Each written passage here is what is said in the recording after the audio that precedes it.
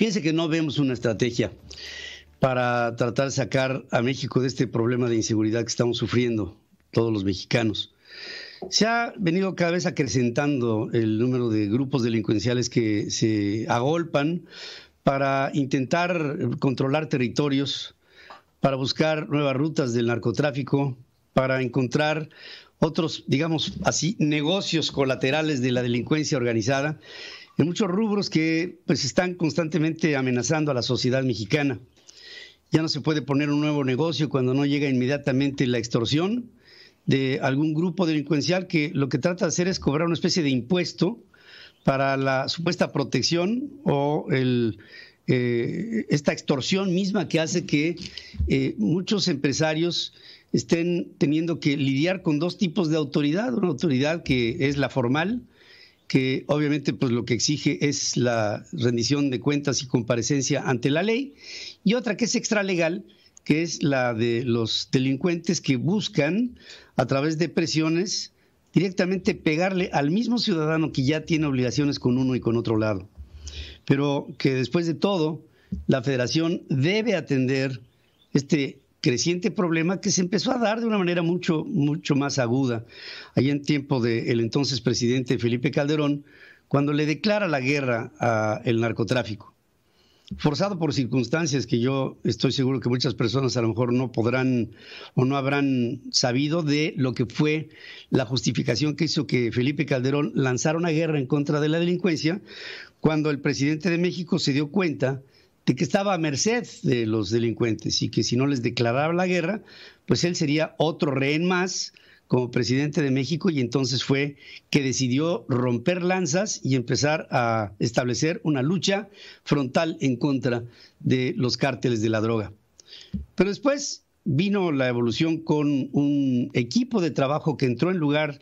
del sexenio panista, segundo sexenio panista de Nilo, eh, en la administración presidencial y entra Enrique Peña Nieto bajo este, esta idea de que el PRI sabía cómo hacerlo y de luchar en contra de la delincuencia de una manera eh, diferente. No hubo tal diferencia, se trató de establecer una, una estrategia a través de la gendarmería,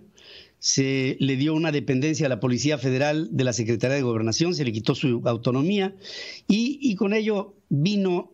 como resultado un mayor enfrentamiento entre la federación y los grupos delincuenciales sin que hubiera resultados concretos. Pero sí el crecimiento, y ese sí fue un resultado concreto, el crecimiento de la delincuencia organizada. Eh, en, esta, en esta administración sigue creciendo el problema, pero aparentemente dentro de este crecimiento pareciera como si hubiera del presidente de la República una permisividad hacia los grupos delincuenciales. Por muchos de los, digamos, eh, ejemplos que ha dado el presidente de la República de tener esa permisividad, eh, le, le da a la ciudadanía, yo así lo he captado de muchos de ustedes, le da la sensación de que no hay en la administración de esta cuarta transformación una estrategia para, para inhibir, para acabar con el problema. Más bien pareciera como si hubiera una estrategia para convivir con el problema, en lugar de para erradicarlo. Y fíjense que eh, el día de ayer me hizo pensar que el problema se vuelve no solamente más grande, sino que se polariza cuando la federación no ayuda a algunos estados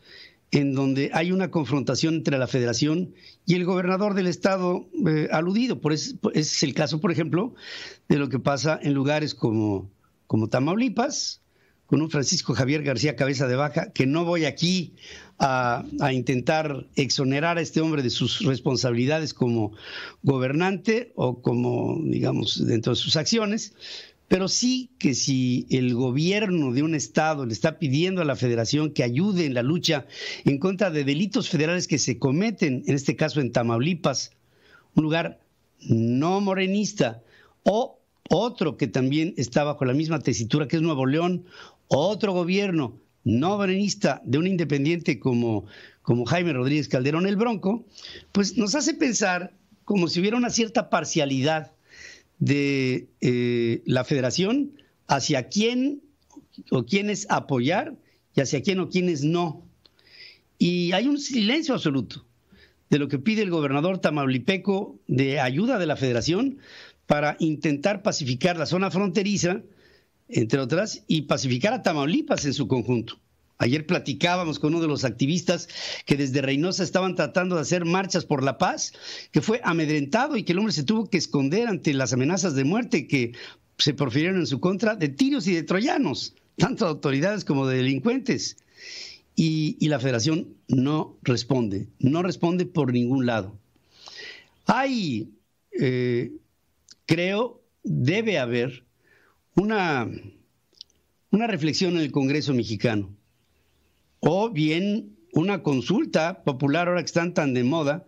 en la que la sociedad mexicana levante su voz y le exija a la federación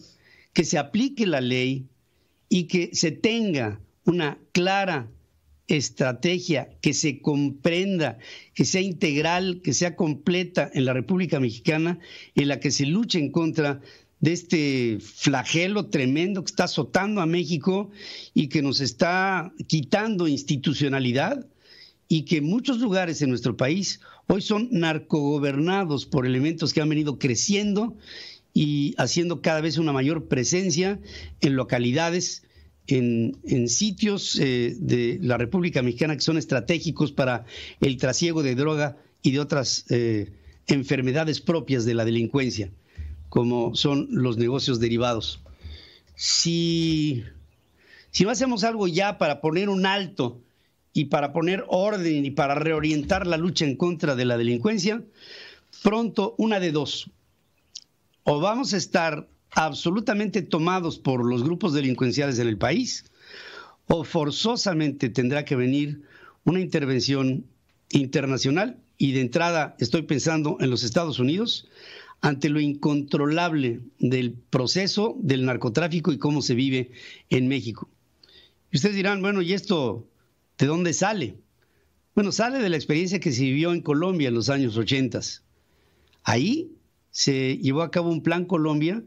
en el que la intervención directa de los Estados Unidos fue necesaria para acabar con los cárteles de Cali, de Medellín, con el cártel del norte y con los grandes narcotraficantes que hicieron de su imperio un gobierno, un gobierno alternativo en una Colombia que, que, no tenía cómo sobrevivir si no fuera con la ayuda internacional. No queremos llegar a eso en México. Claro que no queremos. Lo que sí queremos es que haya una actitud fuerte, fija de este gobierno para que nos dé la sensación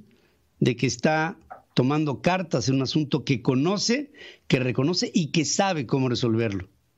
Y sabe que enfrentar esto no será un asunto fácil y que implica un enorme compromiso en donde incluso su propia identidad está también comprometida. Pero aquí tenemos un callejón sin salida. O lo hacemos o sucumbimos. Así de sencillo.